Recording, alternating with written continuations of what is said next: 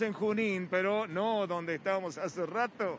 Estamos un poquitito más retirados sobre la avenida Entre Ríos y sabemos que viene la municipalidad haciendo repavimentación sobre esta avenida que es una de las más importantes de eh, la capital salteña. Bueno, desde Junín a Río Bamba, desde donde nos encontramos, va a haber trabajos de repavimentación que creemos que van a empezar en Río Bamba, porque hasta ahora te puedo decir no hay una sola máquina, porque a las 8 de la mañana se va a hacer el corte de tránsito vehicular sobre esta mano donde me encuentro yo parado, porque nos encontramos aquí para decirle a la gente que sepa que va a haber un corte vehicular. ¿sí? Acá no se va a poder circular.